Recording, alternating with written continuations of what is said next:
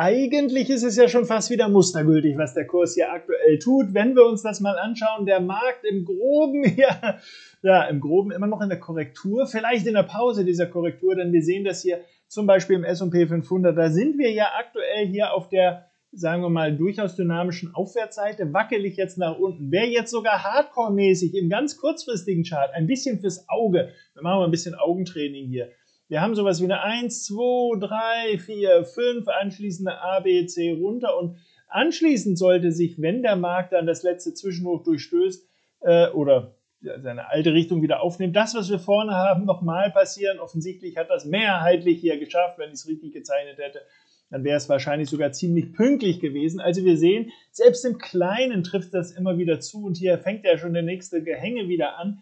Denkt daran, in so einem Fall einen Trigger hier für die Long-Seite einfach mal mit ins Kalkül zu ziehen, um hier reinzugehen. Das ist natürlich zu kurzfristig, um das jetzt hier als äh, Trade in, in Schriftform zu bringen, aber für euch einfach eine regelmäßige Übung. Achtet auf genau solch ein Verhalten und dann werdet ihr feststellen, das passiert regelmäßig und bietet viele, viele Trading-Chancen auf der Zeitebene, die ihr euch äh, hier in dieser ganz kleinen Ebene ist, was ich jetzt hier gerade gesagt habe, oder ob das hier in der nächstgrößeren Ebene hier ist oder hier in so einer mittleren Ebene hier oder in dieser Ebene. Die Fortsetzung, Entschuldigung, ist natürlich immer wieder in die ursprüngliche Trendrichtung. So, das sind alle Kamellen. Womit haben wir jetzt hier zu rechnen?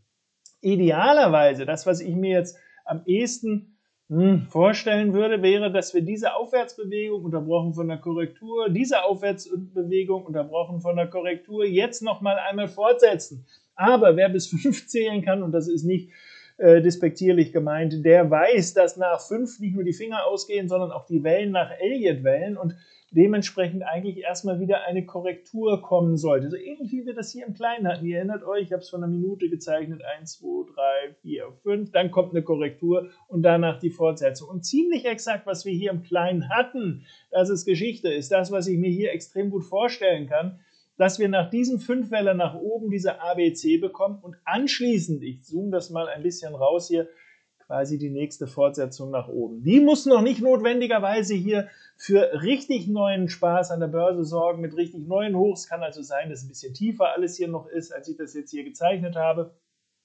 Aber würde zumindest meine Chance uns eröffnen, dass wir irgendwie jetzt so unterwegs sein werden und anschließend vielleicht dann tatsächlich nochmal eine Fortsetzung. Aber ich möchte unbedingt eine Alternative auch nochmal eben dran bringen, denn es ist ja nicht gesagt, dass es genau so passieren muss. Eine echte Alternative wäre aus meiner Sicht, dass wir nach diesem tatsächlich ja dreiwelligen Rücksetzer hier jetzt einen dreiwelligen Anstieg erst nochmal bekommen, der sogar nochmal ein neues Hoch hier bringt. Das wäre sehr, sehr typisch.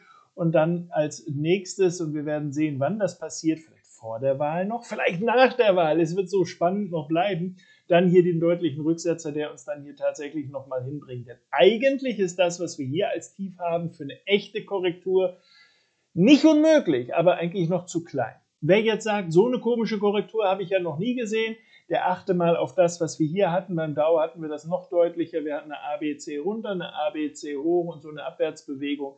Viele von euch kennen das. Äh, wir betiteln das als eine Flat-Korrektur. Das ist im Prinzip nichts anderes als, machen wir das in die richtige Richtung, ABC runter, ABC hoch und danach nochmal den Schub. Einmal kurz Augen zu, einmal kurz Augen auf. Das ist ABC runter, ABC hoch und das runter. So, das Doofe ist, äh, wir wissen dass zum heutigen Zeitpunkt nicht. Kommt dieses Überschießen noch oder ähm, dreht der Markt schon vorher? Deshalb kann ich aktuell eigentlich nur dazu raten, auf den kleineren Ebenen seine Positionierung eben zu suchen und zu sagen, okay, solange wir solche Kursverhaltensmuster haben, gehen wir rein. Auf welcher Zeitebene auch immer. Also sprich, haben wir irgendwann wieder mal so eine Korrektur oder ersatzweise, wenn sie nicht so aussieht, eben irgendwie sowas. Also was klar korrektiv anmuten ist, dann haben wir eine Chance wieder reinzugehen. So ähnlich wie wir das hier hatten, da hat es dann auch mehrmals so hin und her gewackelt. Beispielsweise solche Szenarien sind ja jetzt nicht ganz selten und wir haben ja häufig schon drüber gesprochen.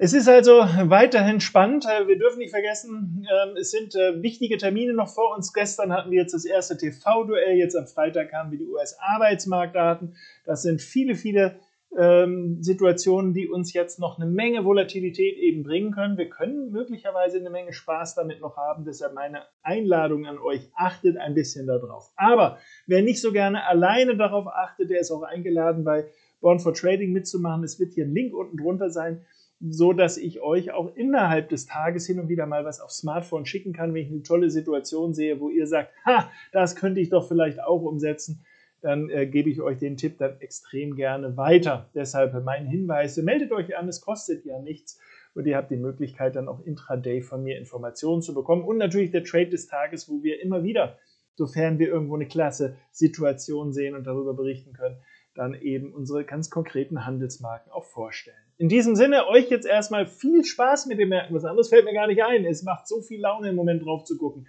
Ich gönn's euch genauso und deshalb ganz liebe Grüße. Bis zum nächsten Mal.